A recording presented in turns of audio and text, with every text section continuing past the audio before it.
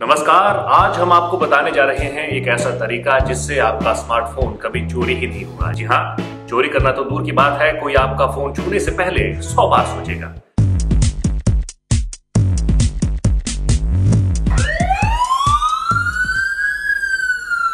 जब कभी हम भीड़ भाड़ में होते हैं, जैसे कि बस में, मेट्रो में या फिर रेलगाड़ी में, तब स्मार्टफ़ोन चोरी होने की आशंका ज़्यादा होती है। आप अपने फ़ोन को कैसे सेफ़ रख सकते हैं, इसके लिए ज़्यादा कुछ नहीं करना होगा। एक ऐप डाउनलोड करना होगा। ऐप स्टोर चाहे वो आईओएस का हो या फिर एंड्रॉइड का, वहाँ पर आपको बहुत सारे ऐसे ऐप्स मिल जाएँगे, जो आपके फ़ोन को चोरी होने से बचाते हैं। आइए देखते हैं कि एंड्रॉइड यूज़र्स कैसे इस ऐप को डाउनलोड कर सकते हैं। प्ले स्टोर पर जाएँ। यहाँ पर टाइप करें एंटी थेफ्ट अलाव बहुत सारे ऐप्स इस वक्त आपको दिखेंगे। आप इनमें से सबसे अच्छी रेटिंग वाला कोई भी ऐप चुन लीजिए। जैसे कि मैंने ये चुना। ओपन करें। टर्म्स एंड कंडीशन को ओके करें।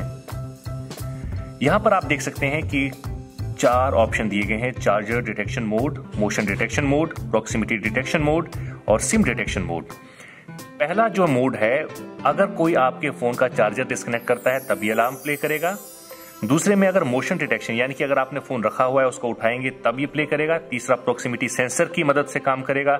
आपका फ़ोन हटता है या कहीं से हिलाया जाता है पॉकेट से निकाला जाता है, तब ये करेगा। और चौथे में सिम बदलने पर ये आपको सूचित करेगा। सबसे पहले देखते हैं कि मोशन डिटेक्शन मोड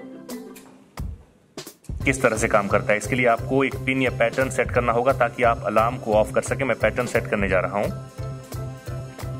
एक बार फिर से एंटर करना होगा। कंफर्म करना होगा। और अब मैं कोई भी अलार्म ऑन कर सकता हूँ। मोशन अलार्म, मान लीजिए मैंने घर पे कहीं फ़ोन रखा हो और मैं चाहता हूँ कि कोई इसे उठाए ना तो मैं इस मोड, इसको ऑन कर दूँगा और इसके बाद इस फ़ोन को रख दूँगा। जैसे ही कोई आपके फ़ोन को छुएगा, अलार्म बजने लगेगा। इसी तरह से अगर आप इस फ़ोन को अपनी पॉकेट में रखेंगे और कोई उसे निकालेगा, तब भी अलार्म बजने लगेगा और आपको पता चल जाएगा। उम्मीद है ये टिप्स आपके काम आए होंगे और आप अपने स्मार्टफ़ोन को सेफ़ रख सकेंगे। इस तरह की जानकारियों के लिए और टेक टिप्स के लिए जुड़े रहिए नवभारत टाइम्स ऑनलाइन के साथ।